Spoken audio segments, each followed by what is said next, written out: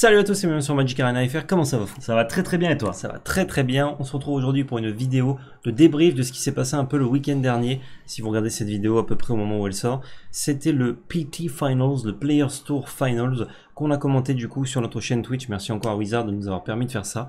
Euh, ça fait plaisir, c'est un régal. Ça a duré du coup euh, deux jours, samedi et dimanche, mais c'est pas fini c'est pas fini parce qu'il y a le top 8 qui va se jouer samedi. On en profite, on le dit tout de suite. Euh, si vous voulez venir voir le top 8, on va le caster également, le commenter. Régalade, ce sera à partir de 17h30 sur notre chaîne Twitch dans la description. Ceux qui ne sont pas familiers avec Twitch, vous allez dans la description, vous cliquez sur euh, notre chaîne Twitch et ça vous emmène directement sur le lecteur. Directos. C'est bon, pas besoin de faire des comptes, etc. Vous pouvez juste nous regarder comme ça. Euh, vous mettez cette page en favori et ensuite vous êtes bien. Et si jamais bah, vous voulez faire un compte Twitch et euh, nous follow, ça vous avertit quand on part en live, etc. pour ne rien louper. Donc ça fait quand même extrêmement plaisir. Merci à tous. Merci, euh, merci à tous ceux qui sont passés aussi dans le week-end. C'était vraiment une forte régalade. Ouais, on s'est vraiment régalé. très grand plaisir. Euh, l'événement était, était un petit peu boudé. On voyait sur les, réseaux, sur les réseaux sociaux que le Players Tour Finals en standard intéressait pas forcément les gens pour plusieurs raisons. Parce qu'on est sur un standard à 8 extensions, qui a bientôt la rotation, que le standard est un petit peu, comme on peut dire, sclérosé avec un deck dominant, euh, des patterns redondants, qui s'est pas renouvelé, les spirales de croissance, le euro. Et eh ben pourtant, nous on vous la colle, on vous l'a dit, les pros, ils arrivent entre guillemets à tirer leur épingle du jeu. Ce Players Tours Final, il était incroyable, les plays étaient fous, les decklists étaient surprenantes, et vous allez voir, on va vous parler du top 8, et eh ben vous allez voir qu'il y a euh, plein de decks dont euh, vous n'imaginez pas qu'ils auraient pu faire top 8, des brews même spicy, perso qui ont réussi à, à tirer leur épingle du jeu, c'était vraiment une régalade, et ce top 8 du coup va être fou. Donc on mm. est très heureux que ce Players Tours Final se soit passé comme ça. Euh, ça prouve que euh, même quand euh, l'entièreté de la planète a l'impression que le standard est mort, en tout cas n'arrive pas à se renouveler, et eh ben les pros eux ils sont au-dessus de ça. Ceux mm. qui cherchent, et eh ben ils trouvent, et ça, ça fait, ça fait extrêmement plaisir. On va vous parler en deux temps dans cette vidéo du Metagame Breakdown, et ensuite on vous présentera les 8 decklists qui sont en top 8 ainsi que leurs participants. Exactement. Euh, avant du coup de poursuivre, si vous voulez nous soutenir, n'hésitez pas à utiliser le code VALEPL 2020 sur la boutique Magic Bazaar, notre sponsor, merci beaucoup à eux, qui vous donne 50% de points de fidélité supplémentaires euh, lors de votre commande quand vous utilisez le code. Le système de fidélité sur Magic Bazaar, c'est très simple, c'est 1 euro égale un point. Au bout de 150 points, vous avez un bon d'achat de 5 euros valable sur toute la boutique. Ça régale du coup avec notre bon d'achat, euh, avec notre code, pardon, ça vous donne 1 euro égale 1,5 points, donc vous arrivez plus vite vers le bon d'achat. Merci beaucoup à ceux qui l'utiliseront, ça nous soutient code créateur Magic Arena FR sur la boutique Epic Game Store. Et j'en profite pour dire que YouTube bientôt euh, cessera les pubs. Donc merci à tous ceux qui euh, sont allés visionner des pubs pendant tous ces, longs mois. Euh, ça nous a aidé, merci beaucoup. Mais bientôt il y aura plus de pubs sur YouTube, donc il y aura plus moyen de nous soutenir via cette plateforme en tout cas. Passons du coup au Metagame Breakdown. Peut-être qu'on peut montrer la deuxième partie, parce que ça c'est les 4 personnes qui sont top 8. Pour ouais. teaser un petit peu. Ok. Hop là Incroyable. Et qui c'est ça? Raphaël Lévy Ah là là, il s'est qualifié en top ça fait plaisir. GG à toi si tu regardes cette vidéo, GG à lui. Euh, on vous en dit plus ensuite sur les, les compétitions dans ce top 8, mais voilà, j'avais envie un petit peu. L'histoire raconte. de vous montrer. L'histoire raconte qu'il se sera entraîné pour le Player Tours Final sur vous si vous pouvez. Et l'histoire euh, raconte vrai en plus. L'histoire raconte vrai. Donc voilà, on espère qu'il ramènera la coupe à la maison comme on dit. On va passer sur le Metagame Breakdown. Euh, L'entièreté des decks qui ont été euh, présentés dès le jour 1. Vous avez aussi leur taux de représentation du coup en jour 2. Et ce taux de représentation en jour 2 via le taux de représentation en jour 1 vous donne un taux de conversion, c'est-à-dire le nombre de decklists présentes au jour 1 par archétype qui sont passés au jour 2. Et ça vous donne entre guillemets bah, la, euh, la réussite ou pas euh, de tel archétype.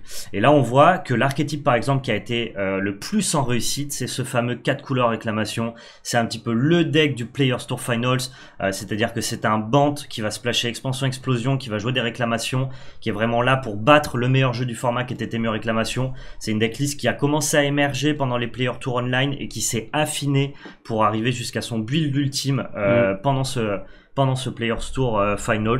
C'est une très très belle decklist et du coup bah, c'est une surprise entre guillemets parce que c'est un deck qui n'était pas reconnu comme un deck tier 1 et qui là vraiment s'est imposé. Vous allez voir, il y en a quelques-uns dans le top 8 et euh, les, les, decklists sont, sont très très sweet.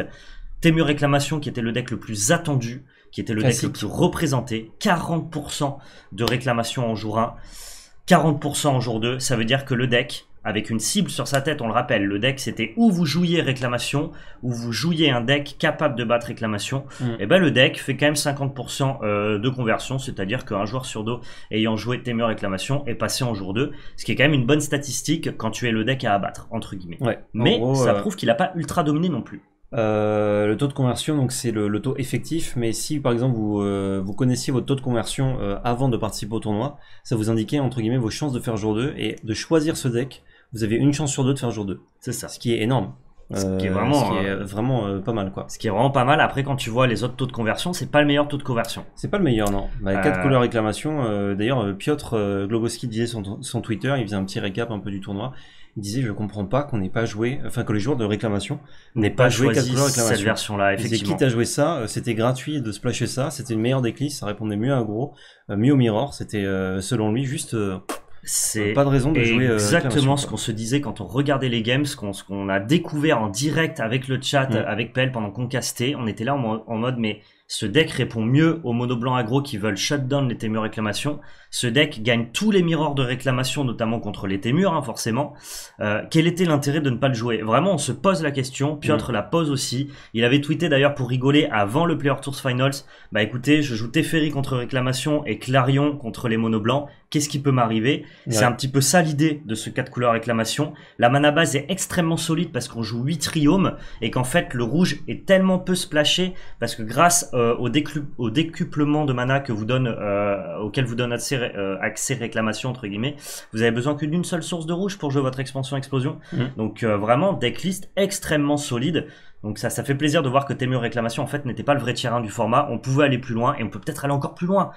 Moi, ça m'a donné envie. Tu sais ce que ça m'a donné envie de faire? De Rosset. Non, ça m'a donné envie de jouer Yorion 4 couleurs réclamation. Et après il y aura Yorion 5 couleurs réclamation. Mais pourquoi pas, tu vois? Est-ce que tu peux pas continuer à aller toujours plus loin? Donc ce standard qui paraissait fermé, ben en fait il l'est pas du tout. Mm. Les decks qui ont, eux, pour le coup, très mal performé, c'est mono green aggro. Voilà, le deck aggro du format, eh ben c'est pas lui. Au final, c'est plus Ouais. mono blanc et mono noir. Euh, mono noir qui est représenté en top 8, on en parlera tout à l'heure. C'est la surprise du Player Tour Finals. Incroyable. Mono green, lui, euh, qui est un petit peu sous-performé, bah, parce que euh, il prend les anti-bêtes euh, de de Temur réclamation qui est extrêmement joué, notamment les rafales des terres. Ouais. Et ça, ça, ça pardonne pas. Alors qu'un deck comme Mono Blanc, il est résilient à Vras parce que la plupart de ses bêtes ont indestructible ou alors se protègent et, et il ne prend pas les, les cartes de disruption comme Rafale des Terres. Donc c'était Mm. vraiment l'agro du format. Et Ouais. après voilà, il y a les autres decklists. On voit que Sacrifice ça a pas très bien performé. Azorius Control lui a plutôt bien performé mais était joué par tellement peu de joueurs que c'est pas très représentatif. Effectivement et comme puis les, euh, les autres decks sont pas sont pas forcément représentatifs quoi. Non, dans, dans Other, il y a notamment ce qui est assez drôle, il y a deux decklists dans Other. Donc Other, c'est tous les autres decks qui étaient euh, joués par une ou deux personnes seulement. Euh, et ben il y a deux decks dans Other qui, sont qui font top 8. C'est incroyable. assez cool. Euh, et c'est pas des coups de chance. Non, pas du tout. C'est- On c'est a vu les games, ça peut arriver. c'était ouf. Le Brou un petit peu maison, euh, bah il s'en sort bien, il a un petit peu de chance au pairing, le, le joueur est bon. Euh, c'est un peu la belle histoire. Ça peut Là, arriver, c'est- mais pas sur un Players Tours Finals déjà. Ouais. Euh, la plupart des joueurs ont tweeté que c'était peut-être le tournoi le plus dur auquel Mm. ils aient euh, participé. On rappelle qu'un Pro Tour normal, c'est euh, entre 400 et 500 joueurs, et c'est déjà la crème de la crème du monde de Magic.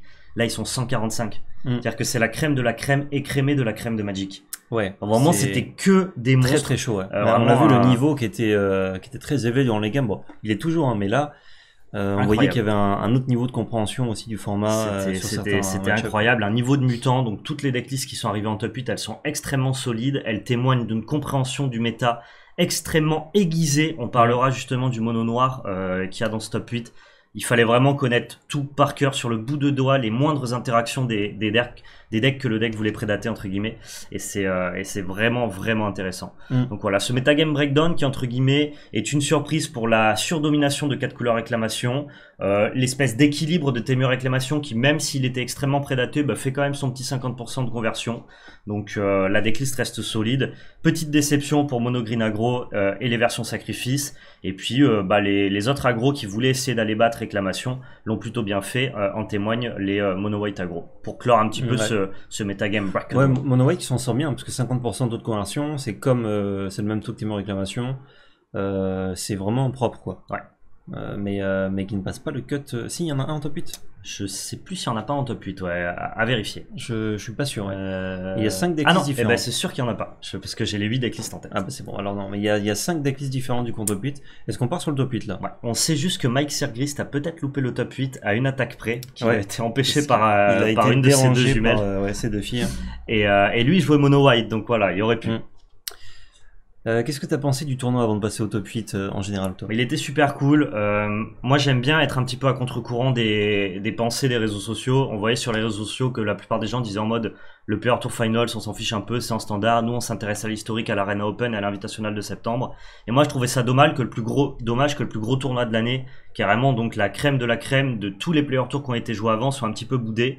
On a essayé d'hyper les gens, on disait avec PL, mais non, vous inquiétez pas, ce tournoi va être intéressant. On est sûr qu'il y a encore quelque chose à faire dans ce standard. Et bah, personnellement, c'est une réussite ce tournoi. Ouais, grave. C'est une réussite dans ce qu'on a pu voir. Même les mirrors de réclamation étaient incroyablement skill intensifs, mm. c'est-à-dire euh, euh, qui demandaient énormément de ressources mentales pour euh, pour les commenter et pour les jouer. Donc il y a vraiment un très haut niveau de jeu de Magic et puis bah, pas mal de decklists variés. Enfin non, vraiment très très bien. je pense que les gens qui n'ont pas regardé ce Player Tour Final sont loupés quelque chose et je pense que les gens sont en train de se rendre compte qu'au final, même quand on croit que le standard est mort, eh ben on peut toujours aller plus loin et c'est ça la profondeur et la richesse de Magic. Le standard est mort, vive le standard. Bah, c'est un peu ce qui se passe. Mm. Mais euh, franchement, bah, de toute façon, c'est pas fini. Avantage, c'est que d'habitude, euh, bah, le tournoi, si vous l'avez loupé, bah, terminé, euh, même si on vous dit qu'il était génial, bah, malheureusement, bah, vous l'avez pas vu. Mais là, non. Parce que là, il y a le top 8. le top donc la crème de la crème qui va jouer. le top 8 ce samedi, on le rappelle, on rappelle du coup sur notre chaîne à partir de 17h30. Et, et ça, c'est régalable parce que tous ceux qui n'ont pas pu nous voir ce week-end ou quoi, ou alors qui ont vu que des bribes, et eh ben vous pouvez venir. Et en plus, là, avec 5 decks, decks, enfin, 5 archétypes différents euh, pour 8 joueurs en tout, c'est vraiment c'est du beau jeu quoi. Avec euh, Du, de la double élimination, euh, double bracket, etc. Winner loser, classico des, des tournois arena d'ailleurs.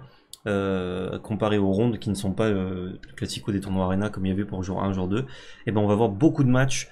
la finale ce sera le gagnant, enfin le premier à gagner 2 BO3.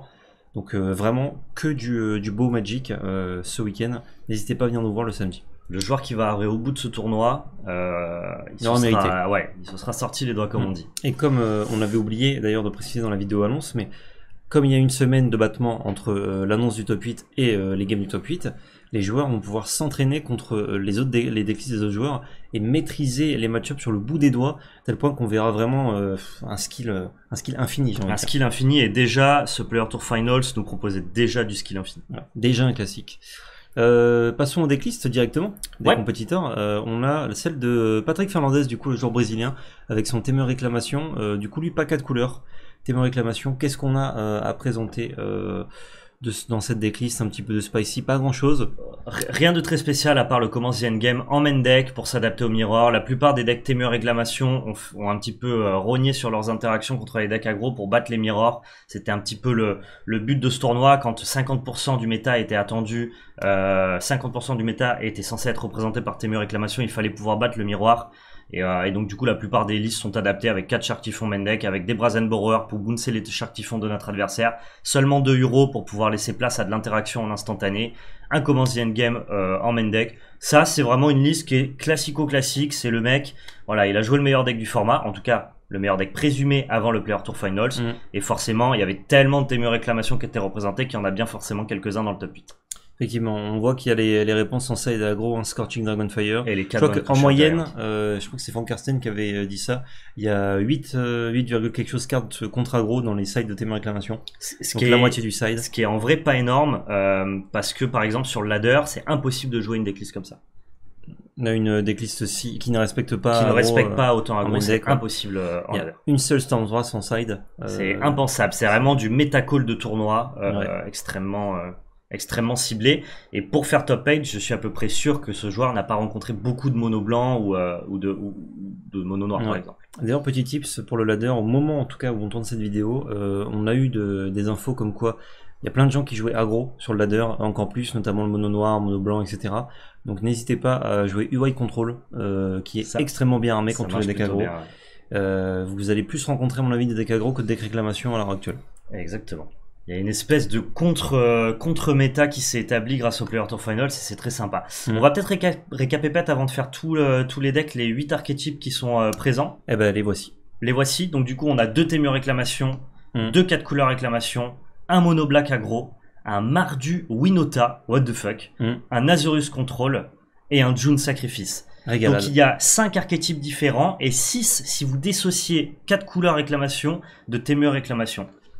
Ce Ah oui, top 8 est génial. effectivement. Ce top 8 est génial. On va passer directement à la decklist de Jacob Michel. Michael Euh. Michael, je pense plutôt. Mais euh, Moi, on peut l'appeler euh, Jacob Michel, euh, on peut franciser. Cette liste qu'on a vue en table filmée et qui nous a mais littéralement régalé. Ouais. Genre, Genre, euh, on, a, sais- on a trop peu vu d'ailleurs, mais elle nous a quand même régalé. Je sais pas si le détecteur de merveille est parti pour ce deck là, mais il va partir maintenant. Très important ça. Ça, c'est quand une merveille se passe. C'est vrai que c'est euh, c'est dingue. Hein. Ouais, euh, c'était vraiment très très bien. Le deck était euh, même pas considérable il y a quelques temps, et ben là il est en top 8. Non, il n'était pas considérable, mais euh, il y a des nouveaux ajouts avec M21 qui l'ont rendu vraiment plus puissant, notamment dans un field de deck control, notamment avec les kit sale freebooters qui vont aller piquer. On a vu ces kit sale freebooters euh, shipper les Vras dans la main, euh, dans la main des adversaires. Mm. C'était extrêmement puissant. On a vu aussi que le deck mono noir dont on va parler tout à l'heure les joue aussi, et ça a été une des cartes incroyables de ce Player Tour Finals. Et puis sinon, bah, c'est juste un- une decklist qui cherche à mettre beaucoup de boards, à protéger ce board avec des Selfless Warrior, warrior, pardon, ou alors avec des... euh, oui, Savior, effectivement. Ou alors avec des, euh, des protections euh, dans le side. Et ensuite, bah, de jouer une Ouais. énorme Winota qui va pouvoir faire plein de proc. Et sur vos procs, vous allez avoir un kit self freebooter qui va arriver pour prendre une carte dans la main de votre adversaire. Une Judith qui va buffer tout votre, tout votre board. Euh, un Basri Lieutenant qui va protéger votre board des Vras. Voilà, c'est vraiment le, le plan de jeu de, de ce deck-là. Et c'était, quand c'est passé en table filmée, c'était vraiment très très puissant. Ouais, avec plein de one ou two slots dans le side, je, je suis fan. Un Giganta parce que c'est gratuit. Ouais. Euh, ça permet d'avoir une menace supplémentaire euh, potentiellement, puisque on peut quand même se prendre brasse avec ce deck euh, avant que, que la Winota arrive. Mais, mais ce qui est puissant, c'est que si Winota arrive et qu'on fait des triggers et qu'on trouve des kite freebooters, hein, donc qu'on met engagé attaquant, on va regarder la main du coup pendant la phase d'attaque et enlever des cartes, notamment la. Vras qui peut arriver ou les interactions qui peuvent arriver le tour d'après. Et c'est super fort. Rien que cette synergie, elle est, elle est super puissante. Decklist ouverte, donc beaucoup de one shot dans les sides. Ouais. Ça demande à votre adversaire du coup de tourner autour de plus de cartes Mm. euh, en moyenne que, euh, que si vous jouiez toutes vos cartes en x4. Je prends un exemple, si vous avez toutes vos cartes en x4, vous avez 12 cartes différentes dans votre deck. Si vous avez plein de cartes en x3, x2, x1 et notamment dans le side, bah, votre adversaire ne doit pas tourner autour de 12 cartes, mais autour de 15, 16, 18, 19 cartes. Mm. Et comme les pros, je peux vous assurer qu'ils tournent autour de toutes les cartes, et ben c'est un petit peu plus taxant mentalement de tourner autour de ces, euh, de Ouais. ces random slots. Effectivement. Ben voilà, un decklist qui régale. Franchement. Juste euh, pas grand chose à dire d'autre que ça régale. Vraiment incroyable. Mono black aggro. Kumagai Riku qu'on a énormément vu en table filmée aussi Ouais. et lui il a une decklist parce que le mono noir qui tournait sur le ladder qui essayait de mettre euh, le plus 3 plus 1 fly Demonic Embrace sur un Régisor euh, pourrissant le 7-6 qui permet de vous faire enfin qui vous demande de défausser une carte à votre entretien ça c'était la decklist qu'on jouait sur le ladder le nouveau mono noir de M21 lui il a dit ah non que nini moi j'en ai rien à faire de mettre un gros 7-6 qui va se prendre anti-bet moi je vais jouer un mono noir qui va prendre les decks contrôle et Mm. qui va les défoncer il n'y a pas de 7-6 Régisor pourrissant. On va jouer des Haunted Nightmare. Parce que la carte ne demande pas de perdre une carte de, de notre main. Elle a quasiment, entre guillemets, le même power level. Euh, on va jouer des Kit Sale Freebooter pour aller regarder justement la main de l'adversaire, enlever les anti-bêtes. On va jouer des Spawn of Mayhem qui vont pas prendre rituel dessus, entre guillemets. Enfin, vraiment. Euh, On va aussi jouer des cartes qui vont avoir plus d'endurance que de force parce que les decks 4 couleurs réclamation jouent des Clarions et des, euh, et des euh, Soleil, Solar Blaze. C'est Justice Strike et Solar Blaze surtout. Exactement. Justice Strike et Solar Blaze, donc du coup nos créatures vont résister à ces anti-bêtes là. On va jouer des Timaret pour aller exiler les Euros. Enfin c'est une decklist, mais il faut une compréhension du méta pour arriver à ce build là, Ouais, qui paraît incroyable. simple, hein, mais c'est incroyable, ça dodge toutes les interactions préférentielles des deux meilleurs decks du format, et vraiment c'était incroyable à voir tourner. 3 duress main deck. Mais c'est un call, Ouais. et c'est un vrai call très très puissant.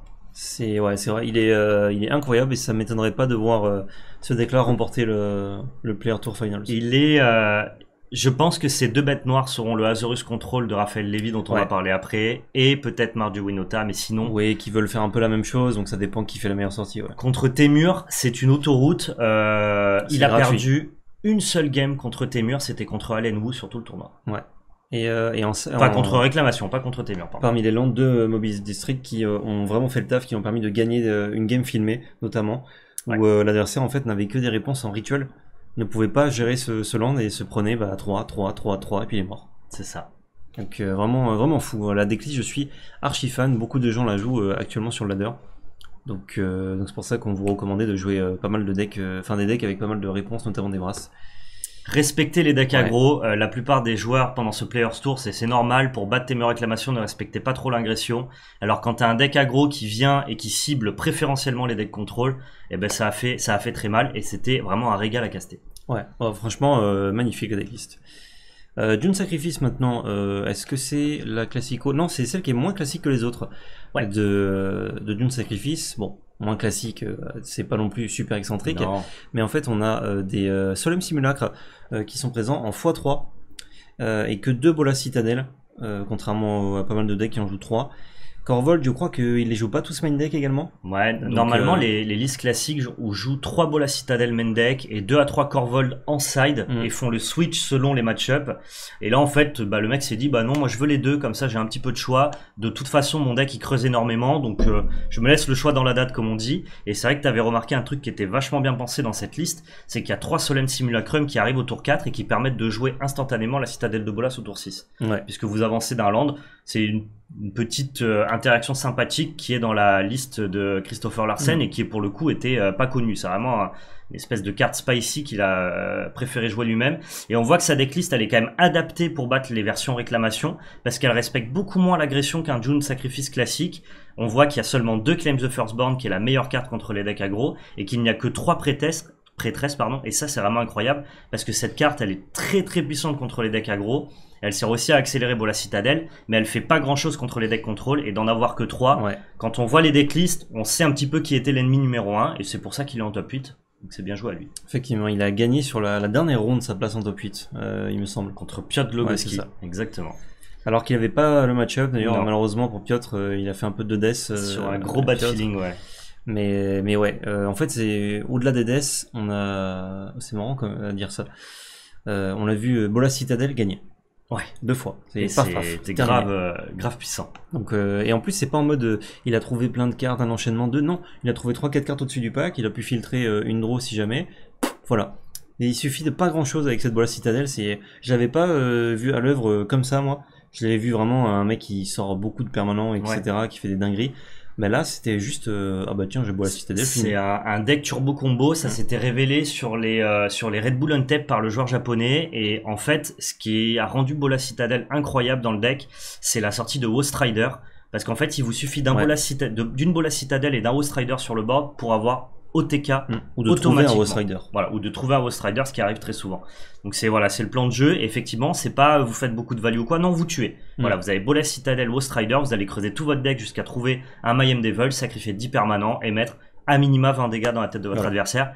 Et ça marche très bien. Alors c'est, il mm. n'y a pas de, ça marche de temps en temps. Non, c'est vraiment très très punitif. Ah, parce que vous pouvez activer l'effet de Bolas Citadel tout de suite euh, quand vous la castez. Euh, si vous avez bien sûr le, le prérequis de 10 permanents, elle se compte elle-même dans les permanents.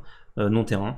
Vous avez souvent des foods, etc. Et comme disait Val, voilà, avec le Mayan Devil, ça va ping de autant de, de permanents que vous sacrifiez, donc de 10.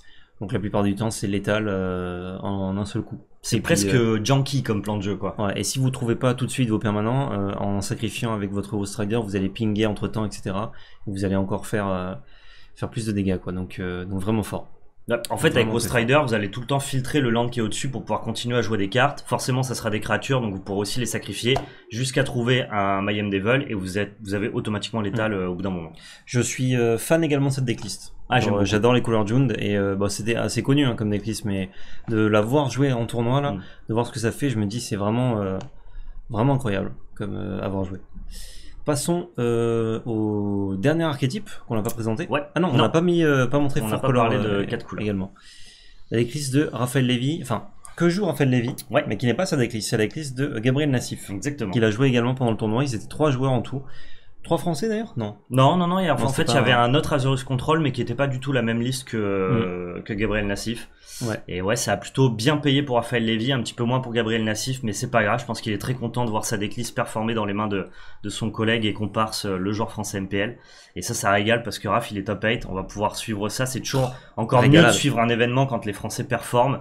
Euh, on rappelle aussi la bonne performance euh, d'Antoine Lagarde, Jean-Menel Depray et Nicolas King qui finissent à 8-6. Mm. Donc un petit peu au, pas aux portes du top 8, mais pas loin non plus. Donc euh, c'est quand même bonne, sur euh, sur un niveau euh, comme ce Player Tour Finals, bah faut aussi saluer leur performance. Mais là ouais, cette decklist designée par Gabriel Nassif et jouée par Raphaël Lévy qu'on a vu aussi en table filmée, c'était quand même pas mal de la belle magie aussi. Effectivement, et, et là quand on regarde un peu le, la liste du top 8, bah, il est pas mal, enfin il est même très très bien contre le Mono Noir et le Winota. Exactement. Le June Sacrifice, je dirais que ça va. C'est un peu compliqué. Historiquement, euh, U-Wide Control a beaucoup de mal contre June Sacrifice parce qu'une carte comme Trail of Crumb, on la bat pas dans le mm. deck, en tout cas pas main deck. Euh, cela dit, cette version Yorion, qui joue quand même des Archons of Sun's Grace pour essayer de passer des points en vol, gagner des points de vie, euh, le fait qu'elle soit redondante, que vous ayez des plays où vous pouvez exiler plusieurs cartes avec vos glaces casquettes parce que vous les blinquez avec Yorion. Mm. Cette decklist là respecte beaucoup plus June qu'habituellement, mais c'est vrai qu'un deck contrôle assez classique a plutôt un mauvais match-up contre Jund, mais on l'a vu gagner euh, contre Jund Sacrifice en table filmée, Raph, donc il pourrait le refaire en top 8. Bah, contre Christopher euh, Larsen d'ailleurs, non? C'était contre Christopher Larsen ou l'autre joueur de Jund, je ne sais plus comment il s'appelle. Il y en avait deux qui sont passés en table filmée, mais peut-être que c'était Christopher Larsen. En tout cas, euh, il peut, il a, il a son, il a son épingle euh, à, tirer du, euh, à tirer du jeu, surtout contre le mono noir et contre le Mardi Winota. Ouais, et il nous a dit qu'il avait déjà gagné ce tournoi d'ailleurs. Il nous a dit qu'il a vu le futur. Il venait du futur, il a déjà gagné son Il a déjà gagné son Donc euh, on espère que c'est vrai. Et, euh, et, contre les decks réclamations, euh, je pense qu'il est pas si mal contre réclamation Témur. Par contre, 4 couleurs, ça doit être plus dur. Ouais, c'est deux decks en tout, en tout cas qui veut un petit peu moins voir forcément mm. parce que. je dis pas si mal, c'est-à-dire qu'il a pas l'avantage, mais il est pas au fond quoi. Non, mais il est au fond sur aucune des decklists parce qu'il joue quand même 4 Teferi et 4 Narset et on sait mm. que si ces deux cartes sont sur le, champ de bataille, bah Témur a, a perdu. Mais le but c'est d'arriver à les séquencer, à les faire passer. Et il va falloir trouver tes interactions après side. Après il y a quand même 4 Dovin's Veto main deck, 2 Aether Gust et 2 Mystical Dispute pour respecter ces decks là. Si on fait passer un Teferi assez rapidement et une Narset, bah on peut euh, trouver l'étal, euh, enfin on peut bloquer le board. On a Yorion euh, qui met quand même de la pression. On l'a vu tuer juste aux attaques de Yorion les Elspeth Concardes qui vont respecter bah, les Kenrid des quatre couleurs ou alors les réclamations des, des decks réclamations. Donc il peut quand même s'en sortir, mais c'est pas le meilleur match. Non, c'est sûr. Mais voilà, on n'y est pas. C'est pas fini quoi. Non, il, mais peut se passer les choses. Loin de là même. Ensuite, on passe à 4 couleurs réclamation. Dernier archétype de ce top 8. Et euh, la liste de Prince Christophe, très intéressante parce que c'était le seul joueur invaincu du jour 1. Et il a fait sa première défaite au bout de 10 matchs, je crois. Ouais, il a fait 10-0 into 10-3, je crois. Ouais, il a perdu le 3 derniers, mais de toute façon, à 10-0, il était quasi sûr. Euh, enfin, c'est sûr même qu'il faisait top 8. Ouais, il était top 8. C'est sûr. Donc, euh, donc pas mal. Euh, C'était le seul joueur qui euh, potentiellement pouvait faire le 14-0. Bon, il l'a pas fait, mais. Euh... ben non, il a pas fini à 10-3, il a fini à 11-3. Ouais, il, a perdu ses trois mm. défaites, après il a juste drôle, intentionnel drôle ah non, il a fait 10-3, effectivement, comme ça le, le top 8 comme c'était euh, plié. Mais euh, franchement propre. Très très propre, euh, des clis classico. Un Kenrit main deck qui va bien répondre bah, bah, à, pas mal de choses finalement. Au deck aggro, au mirror pour mettre la pression. Euh, c'est une bonne, bonne carte. Ouais, Comme tu disais, on n'aurait pas dit que c'en était une. C'est une bonne idée d'avoir sa main deck. Ouais, complètement. En fait, si. Kenrit, à la base, on jouait ça et dédicace à Johan Dudognon qui joue quand même quatre couleurs réclamation depuis bien avant que le deck mmh. existe. Donc, euh, bah, il était un petit peu dans le futur, euh, entre guillemets. Et ce Kenrit, en fait, c'était surtout une carte contre, contre aggro. Parce qu'il faut se rendre compte que quand vous avez une réclamation, vous gagnez 20 PV par tour. Si vous en avez deux, vous en gagnez 40. C'est bien. Avec Kenris. Donc, disons que l'agression, elle est vite stoppée net quand mm. vous avez Kenris et réclamation. Et donc, c'était surtout pour ça que c'était joué. Mais là, on a vu les gens les laisser quand même euh, dans les mirrors de deck réclamation. Bah, notamment pour donner la, série, la célérité, le piétinement à un Uro, euh, pour aller pressurer un plein soccer, pour faire que vos chars typhons soient euh, euh, plus gros et en tout cas piétinent sur les chars typhons de vos adversaires. Et mm. du coup, ça a rendu la carte juste méga polyvalente et utile dans tous les match-ups. Ouais, avec pas mal de, de contres euh, en main deck, on voit 3 Mystica Dispute, un Dovin's Veto, une Negate et un Exergust que je compte un petit peu comme un contre oh, complètement. pour le Mirror. Donc c'est pas mal. Et par contre, aggro, pas énormément respecté, hein, ah, parce qu'on bah, a un Scorching Dragonfire, euh, les euh, typhons pour bloquer, après, c'est Teferi, Brazenbauer, Uro Kenrid. Enfin, c'est. Ces decklists-là, Mendek ne respecte pas aggro de toute façon. Pas efficace, quoi. On, on essaye d'eux, mais la plupart du temps, quand vous voyez ces cartes, vous dites ouais, on s'en sort, mais vous devez jouer avec cette carte euh, en mode départ. Hein. Non, non, euh, ton, vrai seul plan de jeu pour gagner aggro, euh, pour gagner aggro à la game, à la game 1, c'est Uro en fait. Faut hmm. passer par Uro, remplir vite ton cimetière, toucher une ou deux petites interactions type Gust ou Scorching Dragonfire, rejoindre Uro, arriver à temporiser. Par contre, après side, on a, on a ce qu'il faut. Pas si mal, hein. deux Solar Blaze, deux, deux Strike, deux Glass Casquette, un Difficulty Clarion, deux Canneries supplémentaires. Euh, c'est vraiment pas mal quoi. Ouais, là ça devient compliqué le Oro aussi qui est peut-être rentré contre ouais, bien sûr. pour gagner l'épée, ouais. Donc, euh, donc solide. On va vous montrer sans rentrer dans les détails les, deux, dernières decklists parce que c'est des archétypes qu'on a présentés bien sûr et que vous connaissez de toute façon. Euh, on va regarder un petit peu s'il n'y a pas des, des, dingueries. On a deux Jolrael ici en side qui est carte qui avait été pas mal plébiscitée au début de à la sortie d'M21 et maintenant qui a disparu un petit peu enfin qui disparaît de plus en plus en tout cas, qui est plutôt dans les decks Bant que dans les decks euh, Récla. Ouais, c'est toujours problématique de vouloir jouer un tour 2 quand tu peux faire Spirale de croissance, qui est le meilleur tour 2 du format de très très loin. Donc, euh, mais ça reste une bonne carte dans les mirror match. Donc, mm. euh, donc Et t'as pas tout le temps Spirale, donc non, pas tout le temps Spirale, mais bon. Le but c'est d'avoir Spirale. Ouais, c'est ça. cette fameuse Spirale. Et dernière decklist du coup de Allen Wu qui joue lui deux Nightpack main deck. Euh, ça c'est vraiment pas mal aussi puisque c'est une carte qu'on rentre dans le mirror. Bah là lui il les a euh, main deck, on rentre dans pas mal de match d'ailleurs, donc c'est vraiment un bon call. Qu'un seul Brazen par contre, alors que la carte est extrêmement puissante euh, pour certaines situations compliquées. puis le reste c'est du classico. 4 disputes liées. Ouais, mais la plupart, jouent, la, plupart jouent 4 disputes. Si tu regardes les listes, je crois qu'ils ont tous les 4 disputes main mm. deck. Euh, ne serait-ce que parce que même contre aggro, et on a vu ce play-là euh, arriver souvent, si le mec veut curver, bah toi autour 3 t'as rien à faire. Bah, tu vas quand même dispute sa, sa carte de curve et, euh, mm. et ça reste ça reste ok même si c'est pas une carte bleue. Leur Sinon, carte préférée, tu euh, exactement. Leur carte de curve. Leur carte de cœur. Mais c'est ouais, c'était très solide. Les, les, les decklists réclamation, 4 couleurs réclamation, elles sont elles sont vraiment impitoyables contre tout ce qui n'est pas agro all mm. Et euh, deux petites coquineries avec euh, Maze Mind Tom en side et Elder Gargarot. Euh, enfin, coquinerie plus ou moins, mais c'est vrai que très peu de gens la jouent. Ouais. Alors, dans les tables, dans les hautes tables en tout cas. Autant Elder Gargarot, ça me surprend moins. Mm. Autant Maze Mind Tom. Ouais. ok. Bah, je sais pas. Bah, je pense que c'est un outil de value supplémentaire, mais, mais deux quand même. je ne sais pas. Ça fait gagner 4 PEV, mais euh, contre aggro, c'est un peu lent parce que c'est quand même euh, bah, 4 tours, ça arrive au tour 2, donc c'est au tour 5 ah, tu, vous avez gagné 4 tu rentres pas ça contre aggro. Donc j'ai un peu, euh, je, vois pas exactement contre mm. quoi il veut jouer ça, mais écoute, intéressant. Il est top 8, on aura peut-être un peu plus d'explications, on nous verra peut-être à l'œuvre. Exactement. Sur Maze Tom. Et aussi Narset Reversal qui est présent dans beaucoup de sides dont on n'a pas parlé, mais la carte qui était pas jouée, il me semble, il y a quelques temps. Non, non, non. Un peu la tech. pour deux mana bleus, vous, en l'instant, vous copiez un instant ou un sorcerie. Euh, et vous le renvoyez dans la main de son propriétaire. Donc c'est quand même très puissant en vrai. Ça fait un espèce d'effet un peu contre-sort. Et on peut copier une expansion explosion adverse, la renvoyer dans la main donc elle ne fait pas son effet.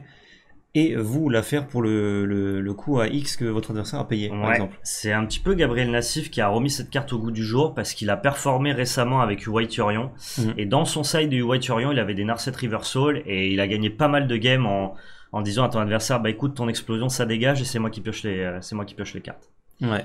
Et euh, bah, sur une bataille de contre, euh, c'est très fort aussi. Je pense que c'est une très très bonne carte. Tu renvoies un contre adverse, tu le copies et tu contres un autre contre.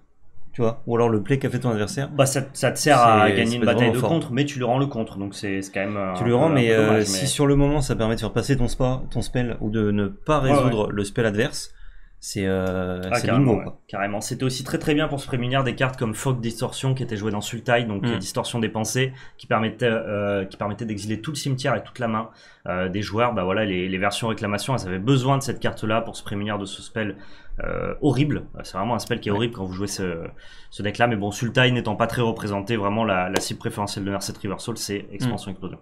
Exactement.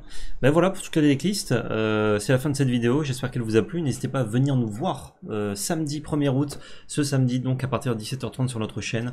On est en live. Ça dure euh, une bonne partie de la nuit. On va finir vers les entre 2 et 3 heures du matin certainement.